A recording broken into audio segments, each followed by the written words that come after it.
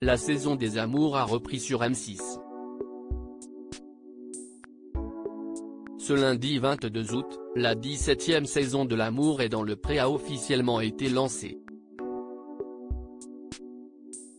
Cette année il y a 13 candidats, 9 hommes et 4 femmes, âgés de 25 à 70 ans.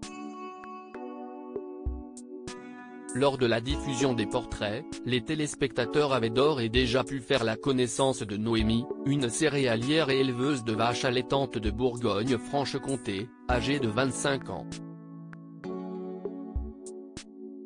La Benjamine de la saison a beaucoup souffert dans son passé, victime de plusieurs infidélités.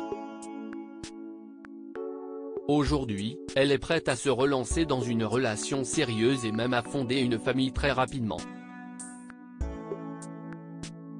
Mais Noémie ne veut pas n'importe qui à un certain type d'homme, des rugbymen, grands et costauds. Quatre prétendantes apparemment répondu à ces critères d'après leur courrier, ceux qu'elle a décidé de rencontrer au speed data. Il y a d'abord Romain, rugbyman de 27 ans originaire de l'Aisne et commercial dans le secteur agricole.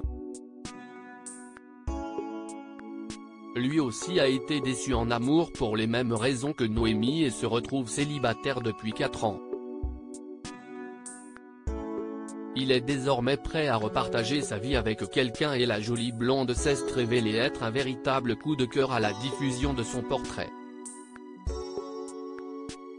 Il n'a alors pas hésité à la couvrir de compliments une fois face à elle. La discussion a par ailleurs été fluide et ils se sont trouvés de nombreux points communs.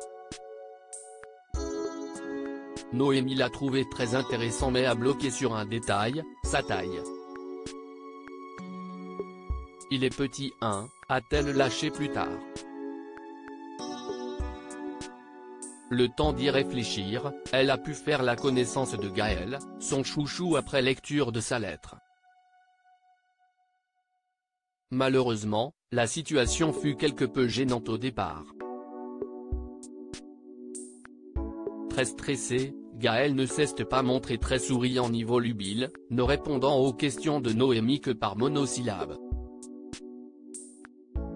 Même Karine le marchand se dit flippé, craignant qu'il ne fasse pas l'affaire pour la suite. Et pourtant, Noémie est sous le charme, estimant que Gaël a tout à fait le caractère qu'il lui faut. Je sais ce que je veux et je sais ce que je ne veux pas et je pense qu'il fait partie de ce que je veux, a-t-elle confié. Le coup de cœur est donc confirmé. Si est tout naturellement qu'elle lui a alors proposé de la rejoindre quelques jours chez elle. Noémie a également choisi de donner sa chance à Romain.